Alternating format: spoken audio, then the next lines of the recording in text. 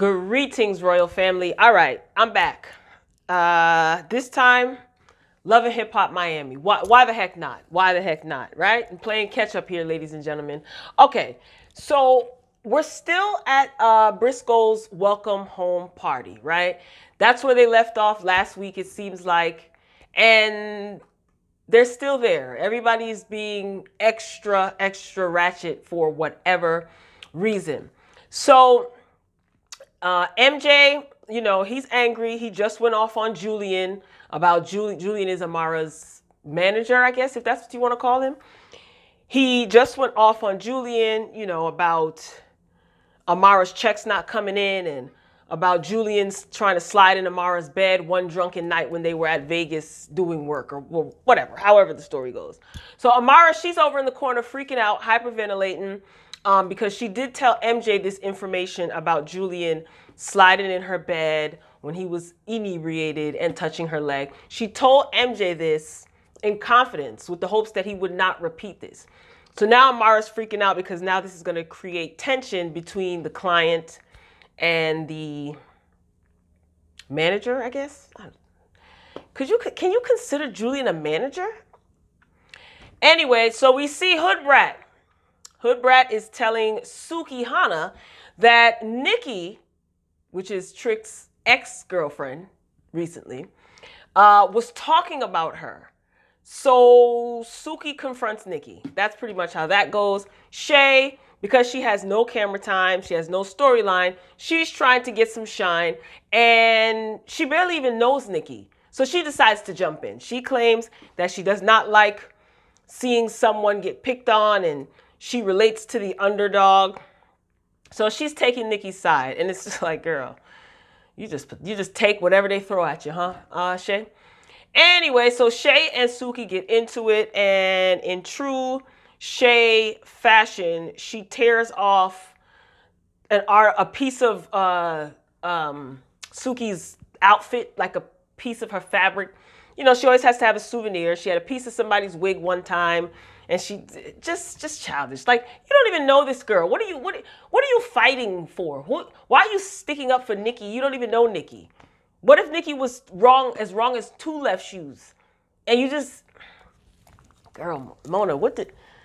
Well, she got to work hard for that money. It is what it is. So we see Prima Donna meeting up with uh, Miami Tip. Seems like they were good friends.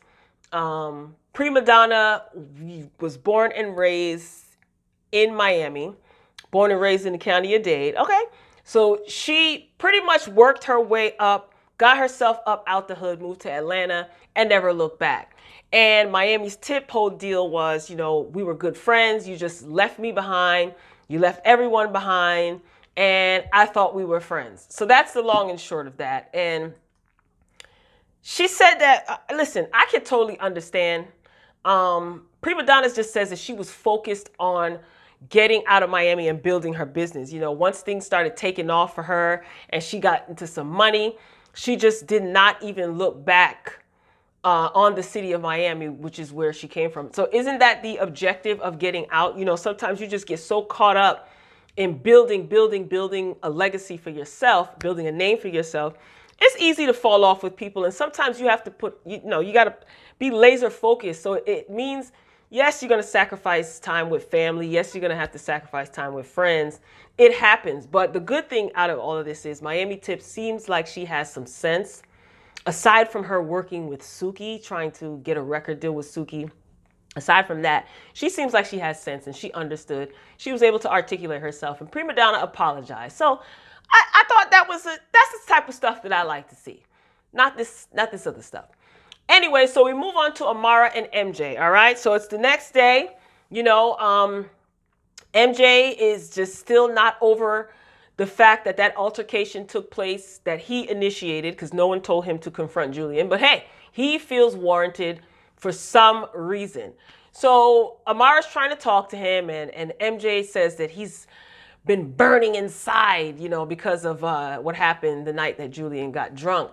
And Amara's pretty much mad again that he brought this up. And she says that Julian made a mistake and Amara is just focused on her career and she doesn't want to mess anything up as it pertains to her business. You know, this is her money, this is her bread and butter. She doesn't want to mess anything up and she doesn't want to sever she doesn't want any tension between the business relationship with her and Julian. But Amara, I can respect that, but it doesn't seem like you have much of a relationship, a business relationship uh, between you and Julian. Like it doesn't seem like there's much there. Trina tried to warn you. So she's still between a rock and a hard place. And you know, MJ is telling her that she needs to get rid of Julian. Right? Saw that coming.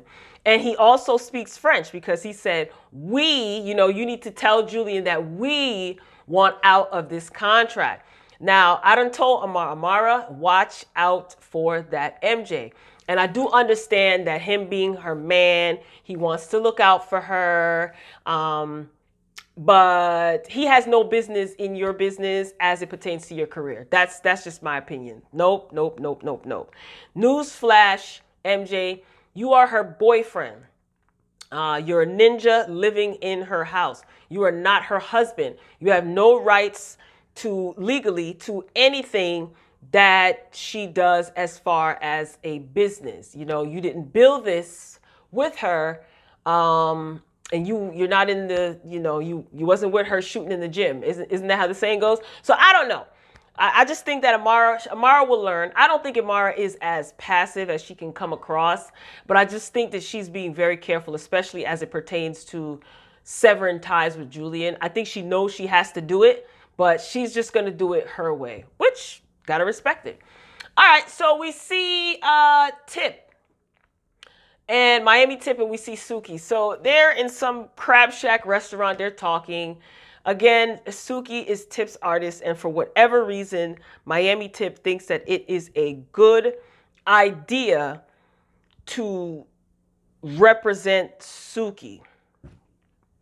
Um, after the fight, the fight that happened at Briscoe's party, they just ruined Briscoe's coming home party. Did they? Didn't they? Just ruined the man's party. So uh, Suki reveals that her phone is gone. We come to find out that Nikki has it and she's meeting up with Shay and they're being petty and they have her phone. And Suki's like, whoever has my phone, I'm going to beat them up over a phone that's probably leased or financed. We move on to see Trick Daddy. Um, he says he don't want Nikki anymore. Good for you, Trick. He says that he's still in love with Joy. Um, but Joy, uh, Joy just wants Trick to move on with a nice woman. Um, and he actually, she actually was hoping that Trick and Nikki could get back together. They, they met up by Trick's house. They're outside talking. And Joy's like, you know, maybe you and Nikki can kind of get back together. You know, I think I kind of like misjudged what Briscoe said. So Trick is like, nah, I'm over it. You know what I mean? I, am totally um, over it. So that's that on that. So it, they're still friends, I guess. They're still legally married. There has to be some sort of benefit, whether it be health insurance or monetary benefits, as to why they're legally married. Because if memory serves me correct, I remember Joy was so distraught and she was so so broken apart because she could not afford to get a divorce from Trick. And y'all remember that Trina handed her an envelope with the exact dollar amount that she needed to file the papers for divorce when she had that car wash. Yeah, here we are. And they're still married. So we move on to see Amara at her lawyer's office as well as M- MJ is there as well. Of course, him and his top hat, they're there. So Julian is saying that he wants 100% of Amara's publishing. Because Amara's uh, lawyer reached out to Julian's legal team or his lawyer, and they're trying to figure out how they can basically sever ties professionally. But Amara's uh, lawyer is telling her, like, Julian wants 100%, the nerve, 100% of her publishing. This is how you know, Amara, that this guy was never your friend. The nerve, the nerve of him. What makes him think that he's entitled to even 50%? He didn't write any songs, to my knowledge. He wasn't out there performing any songs either. So Mara, she's pretty much heartbroken, you know, because she thought that Julian was her friend, and she says she can't believe this, and how could he do this to me? And MJ is just sitting there, you know, consoling his woman. He's rubbing her shoulder, and you can tell that he is he's in his glory because he's like, yes. She's gonna get rid of this slime ball. Yes, we want her to get rid of Julian, but not because you told her to, MJ. And I liked you in the first episode, but I'm looking at you sideways. We move on to Miss Prima Donna. So she is having a relaunch party, honey. She has her waist trainers on deck and her models. She got her crock pots, crock potting. She got her seasonings all displayed at this uh, venue. So the theme is everyone is supposed to wear white. Trick, he didn't participate. He had on a white tee with a brown hoodie and some and a brown hat and his goals.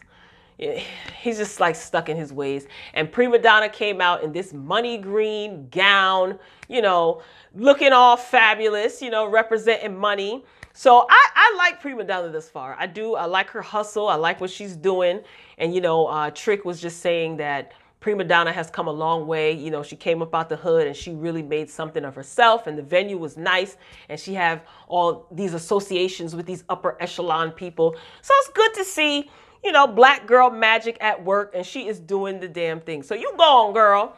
So we see Trick and Briscoe, they're talking and again, Trick mentions that he's over Nikki. So Briscoe is approaching him, telling him like, you know, those rumors that's going on about Nikki, I didn't smash. Trick says, listen, you can smash whoever you want to smash. I respect you for coming coming to me as a man. I ain't got nothing to do with Nikki. But he did tell Trick though that he went out on a date with uh with Joy. And Trick's like, hmm? He didn't say much of anything, but you can tell he felt a little sting because I don't know what he has for Joy. I don't know if it's love. I don't know if it's we he, we know he loves her, but their relationship is is it's whatever, whatever we see this week. All right.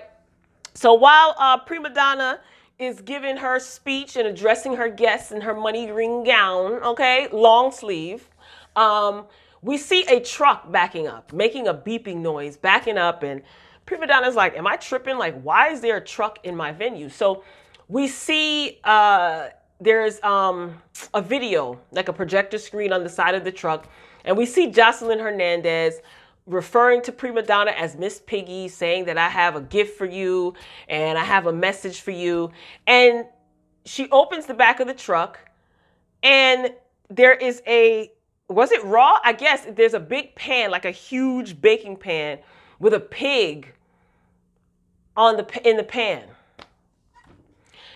Joseline, let me let me tell you something, sis. I don't like that, and I think you should be very careful um, because the girls might not like, you know, the message that you're trying to send. I did mention this in my previous review.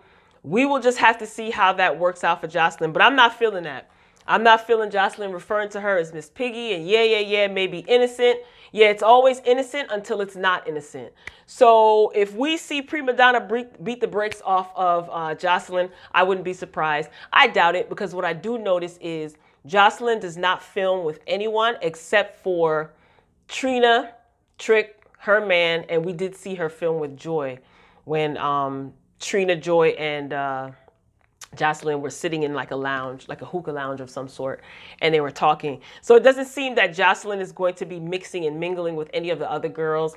Uh, I don't think that that would be wise, especially with people like Hood Brat, Suki Hana, you know, Nikki. I don't think she's going to mix and mingle with those girls because it'll be just nonstop fighting. And I guess that's the image she's trying to clean up. But sis, I'm going to need you to chill. Joseline, um, I'm gonna need you to chill on the referring to prima donna as a pig. I'm, I'm, I'm gonna need you to chill on that. So we will see what happens um, next week. What's supposed to happen next week? I don't know. Somebody's supposed to fight. Oh, Trina. I think Trina's getting into a fight with someone, but we don't even know if that's what we're going to see. You know how they do with the previews. So, ladies and gentlemen, this concludes this episode of Love and Hip Hop Miami season three, episode four, something like that. Thank you for kicking it with me. It is Wednesday. I am behind, so I'm pumping out content, pumping out content. Ladies and gentlemen, before you go, please hit the thumbs up button, like the video if you enjoyed the commentary, and also drop down in the comment section. Leave a comment. Let me know if you saw this. Let me know what you think. Let me know if you don't even watch the show or if you don't care. Whatever it is, as long as it's a respectful comment. So be sure to like and comment before you leave out the dough. And make sure your notifications are on. If you're already subscribed, make sure your notifications are set to all. If you haven't subscribed yet, what are you waiting for? Hit the subscribe button. We would love to have you here, a part of the royal family. So I'm signing off for now, but I'll be back soon. Until next time, peace.